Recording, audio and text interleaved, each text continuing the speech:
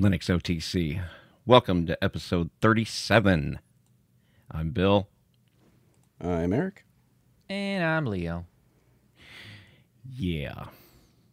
So, Leo, I was checking out uh, the latest episode. What was it? Season 5, episode, what was it? Two. Episode, two. Your your most recent episode of Linux User Space. Go check it out. LinuxUserSpace.show. Mm-hmm. Uh, all about Mint. Well, I think you you meant it to be more about cinnamon, but it, then it it seemed like it kind of became a lot about mint. It was a good history lesson on mint itself. I didn't realize. You you can't you can't separate the two. They're one and the same, really. Um, cinnamon was driven to or uh, Linux Mint was driven to create cinnamon because of the whole GNOME 3 thing, right? So once GNOME 3 came out, um, Mint was essentially creating a bunch of plugins for GNOME 3 to make it like GNOME 2. So uh, and th- and that wasn't really sustainable.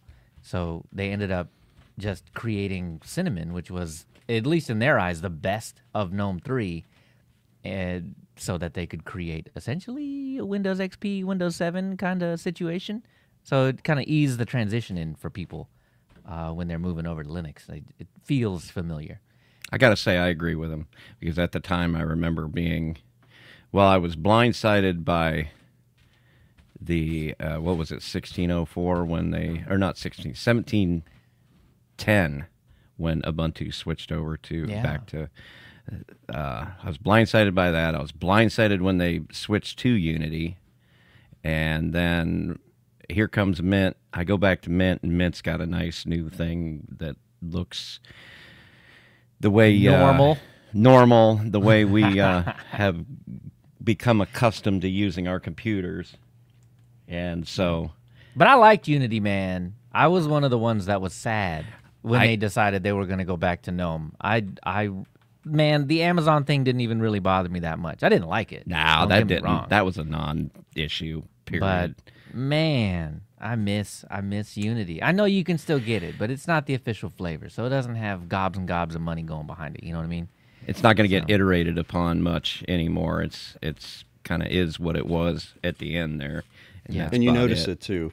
If you use it now, it does feel sort of outmoded at this point. Yeah. So, I mean, all the good ideas are still there. The way the window management and sort of the launcher and and all those secret sauce kind of things are still there, but there are definitely some kind of aspects to it that just feel dated at this point. Yeah, it, it's unfortunate because I, I I guess if I were being honest, I really appreciated the way Unity worked too. Once you get past the buttons being on the left, which you know, once you get past it, then it's like ah, that- They're always on the left on the best operating systems, right? Oh, like God, the we go. Apple icon, you click, you click, it's up in the left. So yeah, you know, yeah. And he's pointing at the machine he's using right now. By the way, no, wait, no. Um, but yeah, once you got used to that, especially like on a small real estate screen where you only have one screen, and the way the way GNOME was doing it at the time, the way they're still doing it, you know, if you've got a window open, you've got your title bar up there, and you got title bar, you got your uh, what do they call it, the the main bar for the desktop, and the title bar for the window. That's a lot of screen real estate when you're using 1366 by 768. You know. Well, So- that's that's your first problem. Well, yeah, but I mean, there there's a significant, especially in those days, there was a significant number of machines out there that were using that, that Right. uh, that resolution, and so Unity comes along and says, well, why can't we just combine all that into one thing, and and uh, that really kind of helped out with the screen real estate. I even liked the heads up display thing that it was that it was doing and all that. But anyway. Cinnamon comes along and says, "Okay, GNOME, yeah, that's that's just them trying to be like Windows 8 or something." I, that's the way it felt, right? Because that's about Well, the, yeah, the time Windows 8 came out. GNOME makes this huge shift that almost nobody liked. Well, Nobody that- controversial opinion here. I thought Windows 8 was fine too. I I, I, thought it was. I I, thought it was slightly better for the masses in 8.1 when they put the button back, the start button down there. But dude, it was it was totally fine because what I think needed to happen is people needed to understand that there that the Windows button on your keyboard brought the menu up. Yeah. because that was that was the main at least from from because I was doing IT like I was I was big into IT at the time. Um, that was the big complaint when uh, when we upgraded people to Windows 8. It was well, where did the thing go? And it's like stop worrying about it. And then people got on with it once I showed them. They push this on the keyboard. You just push the button, and they're like, Some people do. "Oh." right? But and you do you have a contingent of people who have a very difficult time whenever you make a fundamental change like that. They all it's like changing where your turn signals are or something. They're just, they're always where you think they're going to be until they're not, and then all of a sudden they're not, yeah, and it just freaks people out. Yeah. Oh, I, t- I totally get it. But I, I think, man, man, like, just. you It did help gotta- to think just of that full with the screen thing times, as, man. as the as the menu. And then of course when 8.1 came out, I feel like they It was too late. It was it was too late for them. It made it a lot more usable. It, it- the thing I noticed that kind of bothered me about it was this kind of duplication in software that came along with it because there was two of everything on Windows all of a sudden.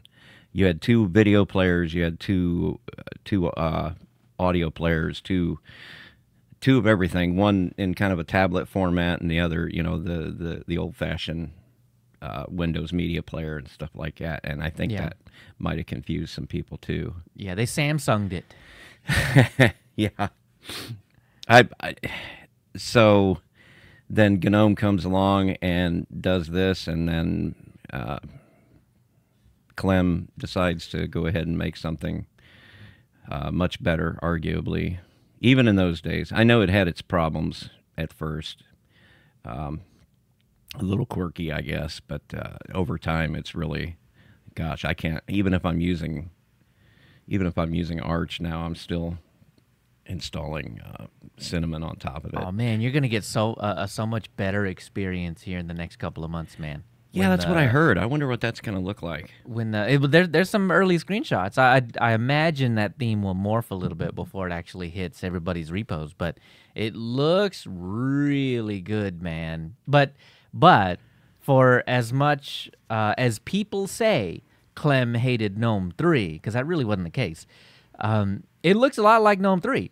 Like it's well, Gnome Four, 4D now, I guess, right? Like it looks like the Gnome 40 lineage now, where it takes a lot of kind of design cues from Adwaita. So I don't think it's gonna really change people's perception of like that a lot, but it, it looks a lot like Adwaita, honestly.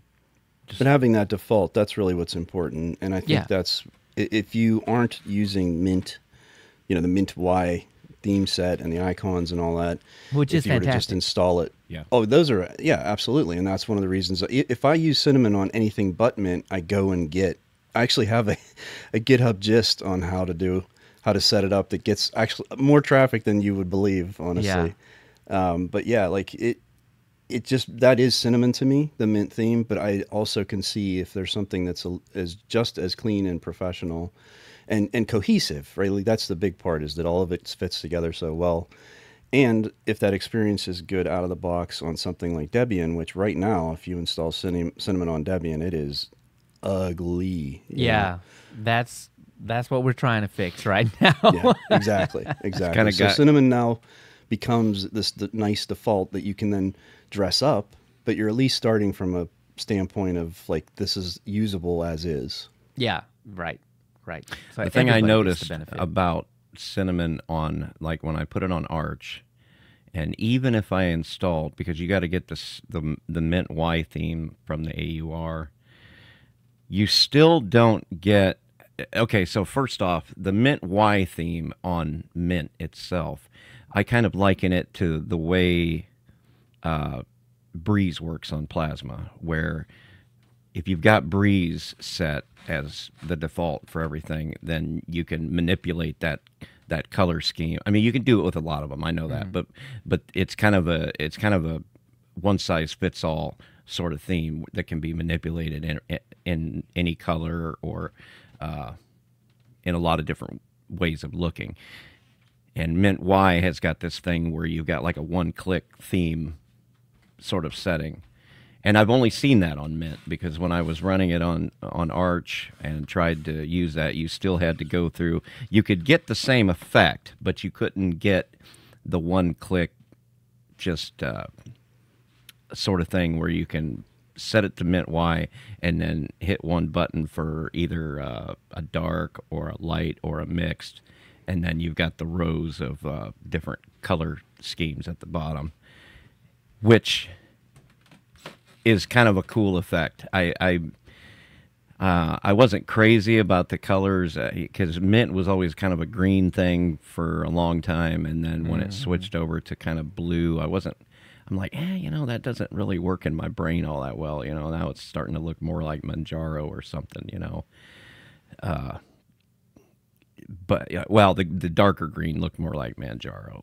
Blue is just safe, man.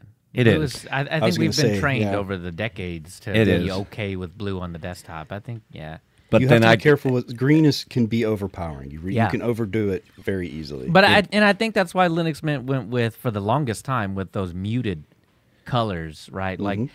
Orange, they called it orange, but that was like a sand, man. And Yeah, I, I wasn't. I hated it. I love orange, but I did not like that orange.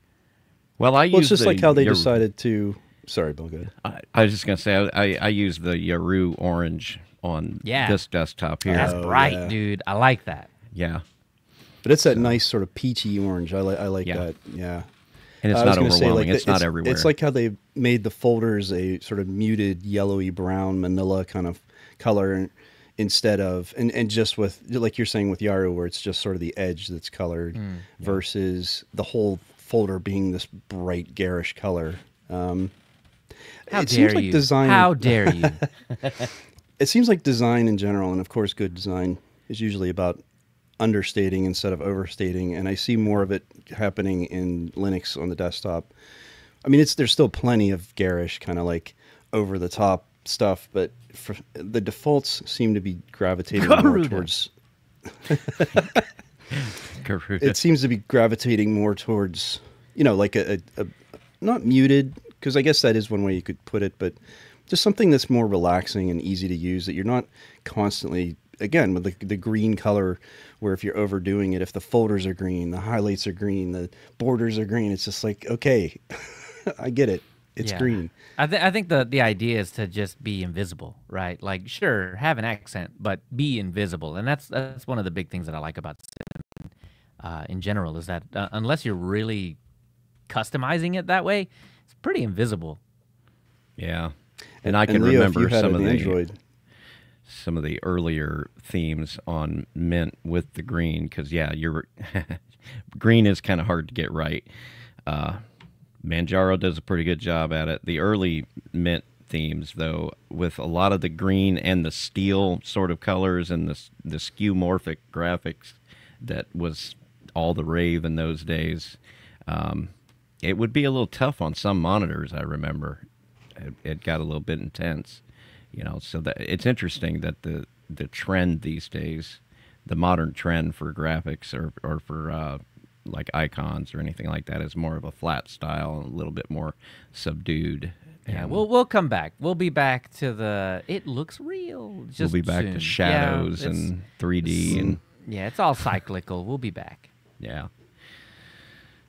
So yeah, um, cinnamon comes along, and uh, it was it was great. It always has been. It's it's been kind of that great middle ground between plasma and and uh, GNOME, I think. But I found it interesting. Uh, you guys touched on apt as a package manager Yeah, yeah. being completely different in Mint. The only thing I did know that you did the real need- apt. It's not completely different. It's the real Right. apt. Just just to be clear. I knew that I knew that you didn't have to enter a password in Mint, but I thought maybe that was just something. I still think it probably is just something they're doing with Policy Kit or whatever to make it easier for people. But I did not know that it's actually now. How does that work? I know that it's it just a Python sources it sources apt, it sources uh, Debian package, and all those other tools as well to make It, sure it has always just been a Python script uh, that really kind of shortened a lot of the commands. Yeah. And then uh, I I need to go back and actually get some the actual history on it. But then Debian decided uh, I don't know if they, it was in the works before or what, but they decided that apt is a good truncation of apt get, so they ran with it. And then, but it took years, man. It took years for apt to be in feature parity with apt get. Like some stuff just didn't exist. It existed in Linux Mint because I think Clem was very uh, focused on making sure that anytime um, your system needed to do something or whatever, it needed to be done or, or could be done with apt. But yeah, it took Debian years to actually perfect, and I'm doing air quotes here for those that are listening, uh, apt to where you didn't have to go back and be like, oh yeah, what's that one in apt-get? Because it doesn't work in apt yet. Um, but yeah, but Linux Mint had the very first apt, and I I think that's that's the one, man. It's it's still really really good. But yeah, it still does make uh, callbacks to apt-get and apt cache and apt whatever apt doesn't support. It's really kind of good. I guess I didn't notice it back in the day because I was just, and I still do on on. Uh, Because you enjoyed the easy. yeah, It I was just use the easy. graphical package manager, and if I Oh, if I really need to Oh. install a bunch of stuff in batch, I'll just get Synaptic for that. So Ugh. you don't like Synaptic? No, no, No. Well, I was forced to use it early days, man, and I didn't like it then. I don't. I like it even less now. No. A couple of things the I like. That, that, the way that it handles dependencies and shows you like all these weird icons, and I, yeah, I, I have never liked Synaptic. Well, it I've I've liked it because if you had like when you're setting up a new system and you know exactly the stuff you want to go and get, it's easy just to create a click list basically on there and then hit one button and it goes through and installs all that stuff. And it's got a it's a quick and easy way to install all of the recommended dependencies or optional dependencies along with a package. If you right click on that, you've got an option to install the recommended stuff. Too many clicks. Just git clone, run it. like Eric's Like got a the script, cowboy. man. Eric's got the script. You just git clone and then run the script inside the folder. That's that's the answer to your Hey, question. there you Bill. go. Pretty much. Yeah. I get what you're saying about there used to be a KDE variant of it called Muon too, but I noticed It that was got even worse. oh, it it seemed like it was slightly more simplified, but it never really. It really was slightly more broken always. yeah. listen, never- DNF Dragora was the one, right? Uh, yeah. Gosh. Nope. Sorry, I, I just package management on a command line. It's the only, even for flat packs and stuff now, I still do everything at the, at the command line. Yeah. I do all my updates at the command line. I just do. I mean, You, it, you know what big entity in the in the computing space agrees with you now? Windows. Ooh. Win Yeah. get this and win get that, and it just you don't you don't you no longer. I can't even make the joke anymore about having to inter. Uh, what is it? Microsoft Edge is only good to go to getfirefox.com and download Firefox. Like you can't even make that joke anymore because you could ju- you can just win get install Firefox and skip the whole browser having to click on anything thing. And I then think the icon that is pops a- up and you just double click it and you're good. That's that's the type of thing you start to see bleed over from like WSL, you know, Yeah. where people are used to having these command line tools.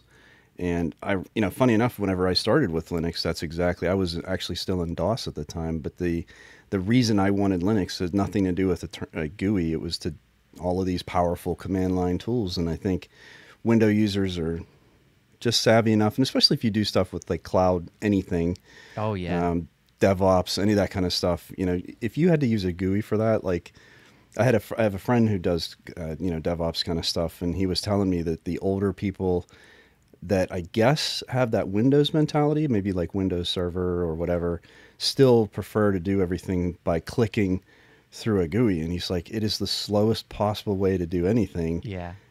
and it's so easy to make a mistake. For all the people that say, "Oh, well, you could type the command wrong," nah, you can use autocomplete on the command line and stuff. There are ways to to catch that, but uh, you know, you've missed one checkbox somewhere, you'll go crazy trying to figure out why it's not working. Yeah. Have y'all seen it's um it's like Open SSL, I think. Uh they uh somebody did a mock up of a GUI of all of the OpenSSL options. So creating certificates and having these keys and doing all this stuff, right? And it was multiple, multiple tabs, like at least a dozen tabs. And the window was from the top of your screen to the bottom of your screen. and dude, the amount of options on the thing would just make you go cross eyed. And that was just one of the dozen tabs on the entire thing. Be- Although but now that you lack- mention it, it would be kind of cool to have something if you could figure out a way to make it intuitive and usable. Uh, because Yeah, the, but anybody the would- one-liner command to create a certificate and the key file for Yeah, like X509 just had its own entire massive page and no.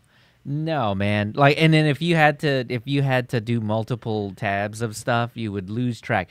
Anybody that's trying But to then if to- you had a way of if it kept track of all your certificates and you had a way this thing could run in the tray and keep your certificates updated automatically. Well, you only ever want run it once. Like anytime you need a certificate, that's the only time you ever run it. give it right? a 10 year expiration date. Oh, or- hey, Google, Daddy Google said we we're gonna be shortening up those timelines. It's gonna be like 90, 90 days or something like that. Oh, no certificate will live longer. The current batch will expire, but uh, pretty soon we're gonna be issuing certificates uh, that are much much shorter uh, in lifetime than than what we've been doing. For and that's years years Google and years. doing that. Daddy Google, yeah. Yeah. Daddy, I Daddy Google. live- What Daddy Google says happens. This is this is the way that it's going to work. This is this is how the Google monopoly works, man. Well, Everybody they can't force Let's Encrypt or anybody like that to do that. no, because they? Let's Encrypt already does that. But I mean that that's the thing though is that yes they can, yes they can. If Daddy Google says so, Let's Encrypt will do 30 days.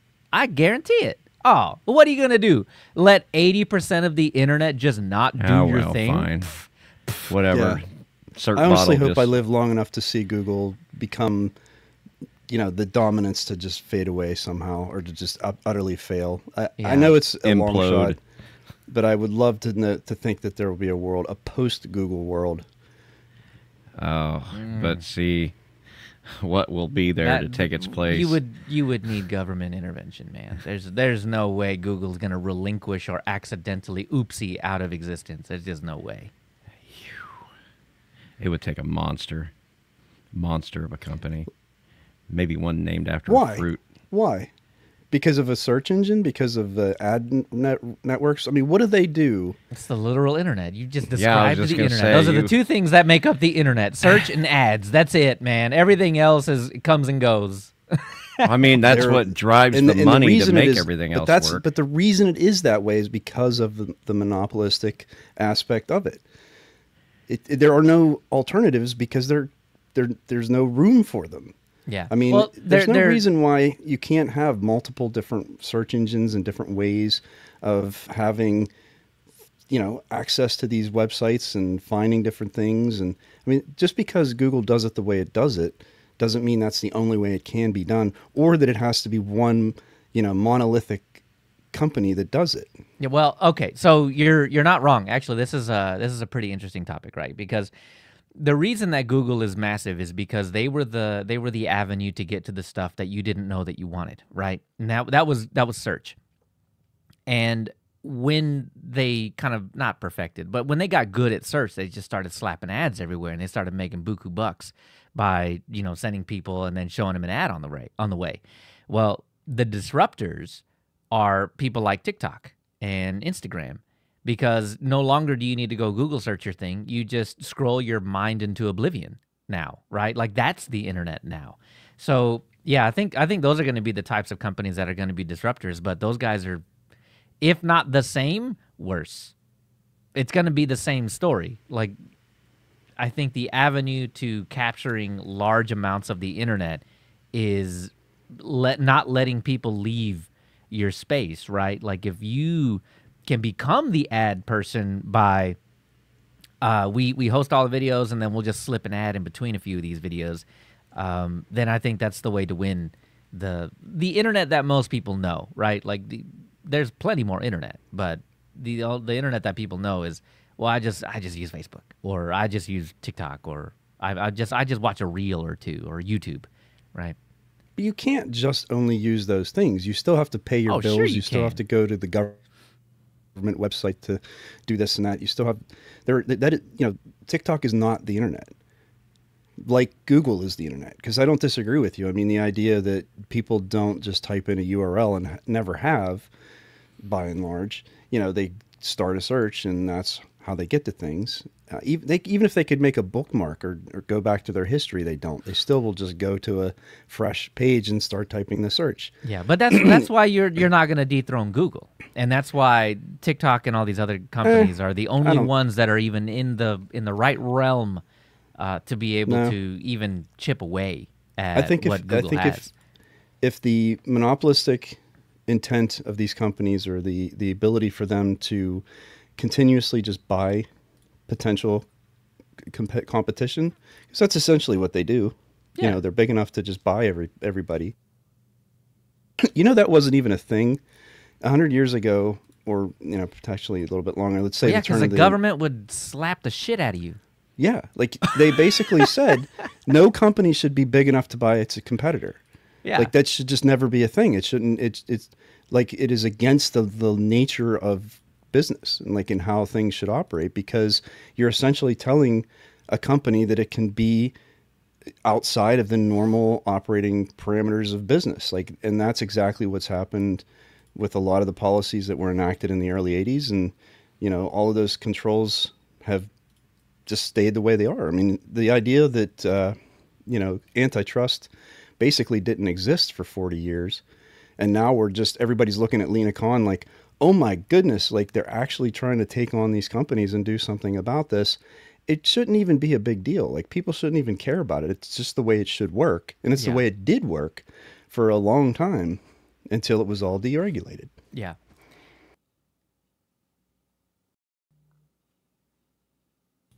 So where where is the room for the improvement then? There, what there can't be. That's the thing. Like you can come up with the best idea in the world, but there's too much pressure from Google to just come in and buy you. And it's it. I mean, No, I well, no, actually, that's that's the new that's the new way to become a millionaire. I mean, that's, that's Absolutely. There's there's quite a quite a number of companies that have started, come up with a good idea, hit the rubber on the road, and just so that Microsoft or Google or or Facebook. Oh, or that's no, that's their long-term business plan. Right, yeah, right. absolutely, is, to, get be acquired. Acquired, Yeah. yeah. Hundred percent. And that's th- I think this is why uh, open source took off. Not not because it was the better way of development. I think it was just because uh, uh, right like the the bigger companies didn't buy them out because they didn't have to. They just took them in and used them, and then we end up with the OpenSSL. How full circle is this? We come up uh, to the Open SSL issue where it was just a guy. This was the XKCD. That was the that was the impetus for that that particular comic. Was the Open SSL guy was just a guy in like Nebraska that was keeping the internet glued together with encryption, and the guy could barely eat. Yep. And then and then Google was like, "Oh, we'll finally take pity on you. We'll cut you a forty thousand dollar check." Like a forty thousand dollar check? Are you kidding me? This guy keeps the entire internet running, and you're gonna hook him up with half a year's salary? Please, what a spit in the face, man. Yeah, that's it. But yeah, that's that's why these companies can continue on because they can just.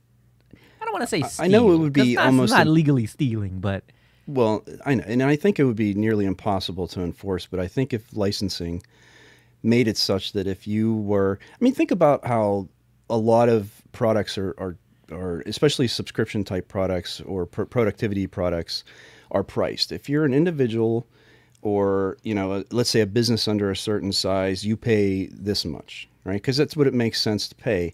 But if you're, there should be like a sliding scale where you know, honestly, if you're using all these underlying technologies and you are not only, you know, using them in your software, but you are definitely, you know, making revenue from them, there should be even the smallest amount, the s- you know, the tiniest fraction of your revenue should have to go back into those projects.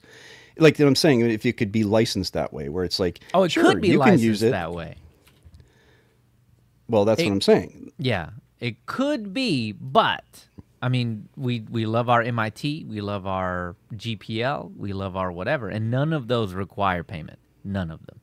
But but that's should, kind of and I think it shouldn't for smaller companies, for individuals, for developers who are trying to learn how to code. Like there, there's Sure. a lot of, you know, altruistic me- means by which you could license it so that the right people don't have to be penalized by that or, or have to pay, or pay their share, let's say. But just like I'm saying with all these other types of subscription models, where if you're going to be making money off of something, then you have to, you know, give back some of that. So what because you're the is- expectation is that they're going to come back and say, okay, one guy in Nebraska, uh, here's a here's a million bug reports because we're now using your system, and you know, your software in a much wider sense than maybe you ever intended it to be. So, uh, you know, here, fix all these bugs for us for nothing because, you know, you're dedicated to this project because it's your, you know, labor of love. And yeah, if there was some amount, like if a guy like that could make six figures a year doing that, I bet he would, he would be so dedicated to doing it. Like that would be his dream job, probably, right? Yeah. And for and So- for five hundred million dollars, you can be the licensor of that software, and I can retire. But what what I'm what I'm getting at is uh, you really enjoy the way that Ubuntu and Red Hat license their particular operating system, right? Little guy can get it for free, but Right. once you're big enough, then you got to start paying. And Exactly. so the that's who and but this is this is how open source has made money for years and years and years, right? Like if you are actually intending to create a business on top of your open source software, this is how you would do it, right? I mean, they I think it's the only way to do it. Well, that and the services based, where it's like, well, we can, you, we have the community edition, or we have the, you know, you can get the source code and you can compile it. But if you want any kind of like a professional service or professional support, Right. You want to be able to call us? make money. Yeah, exactly. Right. Right. Yeah. That's a good way to do that. and do I don't it. have a problem with that. I think Yeah. that's a good way if your product is aligned with that sort of a, you know, a mentality or, or, or you know, the way that you're delivering the service, then yeah, that makes sense. But that doesn't make sense for every model, you know. Right. Whereas you're saying like a like a Red Hat or or something like that, that makes perfect sense. You know, you as a student, as a small entrepreneur, as a whatever, you know, you you have a certain number of licenses that you're allowed or or you know machines you're allowed, and then once you grow to a certain point, the expectation is you're growing because you're using the software and your business is you know benefiting from it. Then you got to get back. Yeah. I think Yeah. that's a pretty pretty solid way to do it. Obviously, worked pretty well for Red Hat. yeah, yeah, and I, I don't know the the opposite direction is working pretty well for Mint, man. Uh, to kind of bring it back to what we were talking about before, um, Clem explicitly does not do this. Uh, Right. He, he just it is a very much pay what you want kind of situation, and but they're I- also privileged enough to, to be getting enough donor. You know, they're making fifty grand a month, which you can't say that for most. no no no open Oh, source projects. uh, just getting at that you can do it the full on altruistic way of you don't ever have Oh, to talk to me you unless you what you're want. saying. Yeah, yeah, exactly. But uh, I think there are enough people out there that um, that see that there's value in something like that and then do give back. Um, but those are people. Those are small companies, right? This is You're not never going to see big business do that No. because that's not how they talk. Oh, absolutely They need not. something they can put on an itemized ledger and have Yeah. an accounts receivable and and all of this stuff going on. You know, they're never going to go with it. If well, you once know, you're once you're big enough to have a CFO, then yeah, there Yeah. you're not going to be paying these companies. You're not going to be paying uh, groups like Linux Mint. You're just not. but it is still cool that Linux Mint can exist in this, Right. per, if not altruistic world, then perhaps like a, I don't know, uh, Nothing's value for value wor- yeah, world. You know, exactly. And that's the thing. Like even with like I'm saying with the licenses, where it would be easy enough to probably skirt around it, and I mean, kind of impossible to make sure that you're collecting every dime. If it at least set a precedent that the expectation was there, that especially something like a cloud company or some someone that's like literally their entire business is open source with maybe like this thin layer of a control panel over top of it. Think of like a web hosting company or like you know any of this sort of cloud based stuff where it's everything they use is open source software that has been deployed in of course their own particular fashion and again they have this sort of layer above it that may be just this sort of you know control aspect like configuration monitoring that sort of stuff but the the guts of everything right the entire foundation is stuff that they'd never I mean, maybe they're they're upstreaming some changes that they make if there are any, but by and large, like you're saying, the, the SSL guy. I mean, that's if that was a one-off and it was just a meme or a joke, like uh-huh you know. But that is true for probably more than we'd want to admit in terms Yeah. of the stack that's being used. Well, right? Redis got the whole uh, got a whole news month, right? When they were talking about wanting to change their licensing because uh, AWS had, I mean, br- not broken the letter of the license, but the spirit of the license, Right. And so they they relicensed to a license that was more minimal to Redis themselves, so they could make some money. Um, but then everybody forked off, right, and did their own thing, Exactly. now there's a Well, there's a Redis fork. they they took so much hate from that by Yeah. trying to protect themselves and that goes back to this sort of like i've had this in my mind for a couple weeks now more so in the last week or so but this this idea of community you know this open source community and what that means and the expectations that live there where it's like you know yes this free is in beer and free is in speech you know but would anybody ever actually Excuse pay me, excuse me. Stallman would say Libre. Uh, I speak English, so I'm going to say free. Uh, anyway, so uh, yeah, I mean this this concept that people just aren't going to pay for things, right? I mean, you can spread that across to traditional media, to streaming services, and and you know intellectual property. You can say that about software. I mean, hardware because they're literally not going to walk into a store and steal it. They might have to pay for, right? But the idea that software is so portable. Yeah, try that in an Apple store and see if you make it three No, steps out the door. No, not doing it. Those are all. Those all have GPS, man. They would find me so fast. That's right. We got their air tags in there. That's right. That's why you got. I keep seeing more and more Android interesting- stuff. I keep seeing more and more interesting things that people do with the air tags, like things that I would have never thought to track or whatever. It's it actually is a really smart product. What like anyway? your keys, dude? I I need that. Like that's my thing. Like I don't know where my keys are ever in any case, any day, whatever. I just don't. like I need one for my wallet too. Like that would be great. Yeah, actually, the the money clip I have has a you can put an air tag in Yeah. the clip itself. Yeah. That is correct. Uh, anyway, bit of a like me. sidetrack there. but uh, but yeah, th- this idea that open source i- is just perpetually free. There's no cost to it. There's no value to it. And you know, Bill, you say value for value, but that that requires someone to actually see the value in the first place. This this level of entitlement, this sense of like, I, you know, I'm owed free everything, is so pervasive. And I, I mean, I don't know how you ever get away from that. I wonder if it's just that Ads. you make it. Don't. I mean, you you laugh, but Google no, it's has true. won. It's true. It's true. You make it available for free for enough people, then eventually you get the people that are willing to pay because they they they are able to pay. Not everybody is. Not everybody is willing. But if it's available to more people, like fishing in a barrel, you're going to eventually get the kind of people that. It's about one percent. Yeah, it's about. And I mean, it's yeah, that's pretty low. It's funny you say that uh, because when I, I actually never really understood this about mobile games, how where they build them for a very small subset. Yeah, they, they focus on these whales, these people right. who are willing to spend thousands of dollars. When you go on into one of those games and you look at the price of some of these uh, like combo deals or whatever, Mm-hmm. and it's like hundred and nineteen ninety nine, and you're like, who would buy three people?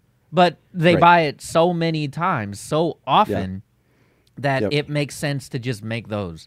And If you you, know, release that for free to a million people, well, the game, yeah, you release for free, and then Yeah, you the put game. The, the whale bait up there, and they'll buy it Whale bait, over it. and over and That's a good way to put it, yeah. Over and over, and I don't know if it's one percent, but it's a large contingent of people that those are the people that the game, it, like those people are funding the game. Everybody else, like you and your ninety nine cent, grab it on sale. This is how I do it. Like you, you know, ninety nine cents or whatever, and it's normally the five dollar pack. Like, yeah, dude. Like I've, I've played, uh, I played this Dragon Ball Z game and I probably put maybe five to ten dollars a year into it when things go on sale or whatever, and it's just advantageous for me, or I, you know, the the value is right for me to to purchase part of the in game stuff. Like that's the only time I ever do it. You ever given money to a mobile game, Eric? Um, a couple times. I, I not not to um, to get like coins or like pay to play stuff, but just to remove ads because it was a puzzle Yeah. game that I liked playing. It's That kind of bejeweled, isn't it? Yeah, Yeah. basically games like that. Now, okay, so that I do like, and I will if I find any kind of piece of software on the Android platform, if they offer a pro version, uh, and that's interesting. Sometimes the only thing you get with pro version is just no ads. I will throw them because we're never talking about a lot of money, you Oh, know. four ninety nine. Yeah, at most. I mean, like a five ninety nine is actually on the high end with some of this stuff. yeah. Uh, I got one I pay eighteen ninety nine a month for. Uh, Woof. That's that's Trucker Path. It it does quite a bit. You truck for a living, and I then do. you come home Yeah. and truck some more. yep. Don't you wow, know? Wow, it's like me and computers. I I do I, I teach computers for a living, and then I come home and tinker with more computers. Right? Like, But there's- I, I guess There's a a lot of tools that are kind of that are really useful to use uh, while I'm on the road. Trucker Path has got. Oh no, this Trucker makes Path job easier then. knows knows where the Yeah. speed traps Oh, are at. never mind. That's a They different know- category of. They app. know uh, because people are connected to it and they're updating information in real time. Oh, it's like Waze. kind of, yeah. Except Oh, it's all okay. yeah. Totally, truck totally. drivers. Uh, All right, I parking availability. Wait, wait, wait, wait. Hold on. So this is like this is like the next iteration of CB radios, right? Like you're not breaker breaker one nining anymore. You're just Yeah. updating an app. Yeah, it, Yep. it- unfortunately it's instead Or of the radio, we've fortunately, got if you're a guy like me. Oh, but abstraction. listen, if it's eighteen ninety nine a month, it's worth every single penny. They could charge forty. Oh, it also comes with GPS uh, Yeah. routing and everything. I've got, I've got, uh, uh, what do they call it? Navigation built into it. Except Okay. it's it's big truck navigation, so it knows the low bridges and the the Oh, weight neat. restricted roads Yeah, and yeah, things yeah, like yeah. that. So I mean, Cool. that's a very valuable piece of software, and Yeah. and it's helped me out a lot. So, and it It tells me, me of when I was uh, learning to fly as a private pilot. I was subscribed to several different like, you know, pilot tracking, you know, and all all the sort of mapping and you know. Hey, that might go away pretty soon. and- People keep tracking Elon and Taylor Swift, and Well- rich people don't like that. So That's a different thing. I mean, that's an open, yeah. But the, just the software itself that you have, that's the first iPad I ever got was because I wanted to have an, a moving cockpit with me in the plane. oh, so and you could- okay, right. That makes sense. The better hardware for the better app. I get it. Yep. Yep. Anyway, so I, that's so when you're sitting there describing, that's all I could think of. And, and there's so many specialized apps like that out there that are for like a, like an, you'd never hear of it otherwise. But you know, obviously to probably every trucker's like, oh yeah, I have that. Uh, the- and a, a lot of them do, and I mean it's multinational too, because we have a we have a, a large number of. Uh, uh, I don't want to use the word foreign, but they're they're refugees that live in Canada, and a lot of since 9/11, a lot more Canadian companies come down into the United States instead of the other way around. Prior to that, it was American trucks going into Canada, but now that requires uh, a passport and all that kind of stuff. Well, Canada, it's the same for Canada, but who is the largest pool of people you can draw from who already have passports that are ah. living in your country that need jobs that might already be trained to drive trucks, and that's the Yeah, that makes refugees. sense. And so we have a large number of them coming down into the United States, and it's really popular with with them too because it, it it's translated in their language, you know, the Punjabi or Hindi or Oh, okay. and that, Yeah. and so they're able I can see to that navigate. being really beneficial. Yeah. Yes, they they're able to because it also it's everything from fuel prices to available parking to you know law enforcement. It lets you know when a road is closed because of an accident, all that kind of stuff. You know. Yeah, and because Very of the crowdsourced nature to it, it's all Yes. sort of up to date. And yeah, that's cool. That's cool. Yeah, I've always liked it. But yeah, giving giving money for software that you get some value out of like that. Because well, there's Google right in the middle because Google's what makes it so simple. If you want the pro version, it's you know click a couple buttons and and you pay them you know right there from your Google account. Uh, if you're using Android. Oh, speaking of which, So they've Google got me gets with their uh, cut. yeah. Oh they've yeah. got me with with Google One now because of our. Oh, I got have- you. Well, uh, because I have all my photos on there. My wife has all of her photos. My daughter's starting to put hers, and like now all of a sudden, our uh, we've used you know ninety nine percent of And our people storage. We say- upgraded to the first level. What? Yeah, and people say that uh, Google's gonna or, or Google's not a walled garden. Well, you've you've just opted into it, sir. Why do people say that? No, no, they that well. Oh, oh, sorry. That Apple's a walled garden, but this is the same. Oh. This is the same kind of thing that Here's the you're difference. yourself I don't have into. a we can problem paying for the install service, all that though. same software on our device and your device. We cannot install all that Apple software on What? our I device. can install the Apple little syncer I cannot thing. get Apple Podcasts on on, an Android Windows. device. Oh, that's actually changing. Arguably a fantastic piece of software. That's actually changing. So Yeah. you know, hang tight. That I, I. I will when that happens. I will. I don't know what I'll say, but I'll say You know, and, and honestly, I know I just said I'm, I'm like looking forward to a post Google world. I think it's it's less about Google services and more about just Google's dominance, and especially in things like policy and politics. Uh, I, the service itself I choose to use because it works well with the phone. Also, yes, I could do a Nextcloud and do my own photo hosting and all that stuff. That's but fitty. I already have my wife. You know, every time something happens with any of our technology, she's like, if anything ever happens to you, I'm just basically going to just have to turn everything off and start from scratch because I'm Yeah. not going to understand anything you have set up. You know, I'm gonna need you guys to come to my house if something happens to me. I'll right. wipe your hard drives, Bill. Don't worry. yeah, because because Yeah, you want to talk that, but- about convoluted. I know Yeah. what he means. I got big magnets. yeah. Oh, everything on here is is either Nextcloud mean, or Incriminating. Between- I mean, you think about the, the, what prompted that for me was there was some video I watched where it was like a short or something where they said, you know, this is your Google life short. with uh, YouTube. Yeah, yes, yeah. Google Short, uh-huh. YouTube, whatever. Okay. Um, so, thank you for distracting me yet again, Sorry. I'm sorry. My mind is old. You can't do that to me.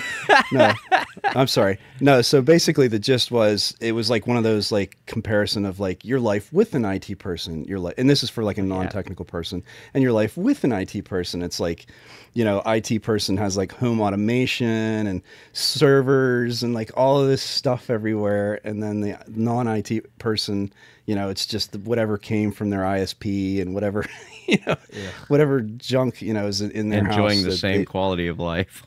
Well, it's, so it's a quality of life thing in terms of like what what you get to do with technology, but then it's also the flip side of if something happens and that person isn't around. Like she said to me many times, like, okay, all the things you do for your web customers, like, do they know like where things are hosted and how any of that works? I'm like, no, that's why they pay me. She's like, okay, so they're going to come to me and say, well, how do I get to my website? And I'm going to tell them what, and I'm going to be like, tell them to hire someone to figure it out. yeah. No, I mean honestly, with with something like that, right? I imagine you have like a document stored do, somewhere I do. safely. I do. That is like the contingency, right? Like Right, I here's your do. stuff. I'm dead. So, but she you still know? but she still has that that uh, you know that sort of angst around not only that like from a you know a liability standpoint but from just True. a day to day oh the um, we have we've been using a uh, voice over ip there's this product called an obi Obihai which is just this little box that is allows you to host like a, a voice over ip system and then have a landline in your house. Hmm. We've been using it for over 10 years and now the company that's that sold the hardware is going out of business. Oh, and so they basically are saying, well, you know, it'll keep working, but if you ever need to make a change to anything, like the control panel part of it is probably not going to work anymore because the certificate's going to expire and blah, blah, blah. open source And it. so, well, yeah, I but don't then you would need the customer to do something, and that's that's already that's Yeah. a bridge too far. yeah. And so really the company that I, so it's two, it's the, the hardware manufacturer, the Obihai, and then there's the Anveo, which is the, the voice over IP provider. Anveo is the one that came to us and said, "Oh, we see that you're using an Obi. Like, that's not going to work anymore after October. or So, you know, here's your contingency for you know continuing to use that device for the time being, and then you're going to have to transition to something else." And it's the same thing with my Synology NAS, which I've had for ten years, has been worth every single penny I paid for it, and then some. But they're not going to support that model anymore with updates after this fall. Right. And so it's like, hmm, now what do I do? And you're right, Bill. Will there be some sort of an open source project that maybe I can host on there instead of the Synology system. I don't I bet you there's a custom version of Debian that goes right on that thing, and while it won't to- be the Synology front end, you'll be Yeah. you'll still be able to utilize I wonder if every, you every could bit just of the hardware throw in there. Open Media Vault on there or something Right? like that. Yeah, yeah, yeah. Yeah. It'd the only more thing I really fiddly, I'm, wor- I'm worried about is that uh, I chose to use the Synology uh, Oh, their mirroring raid, and kind of their raid, their situation. raid stuff. Yeah. their raid stuff. So I'm wondering if if if I use a Debian, if I use something Yeah, else, you won't get that.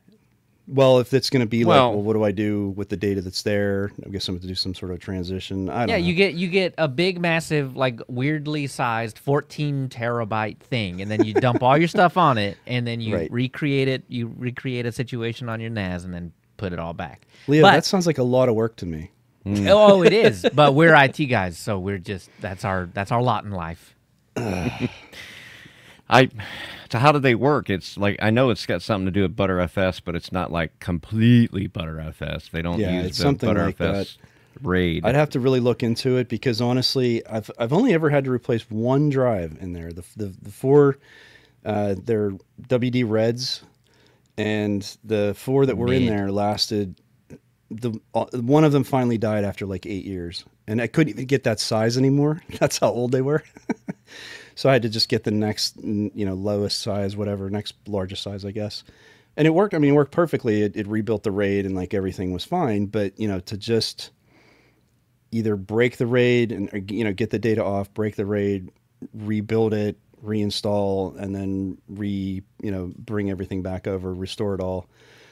I don't know. I mean, I guess that's what I'm going to have to do.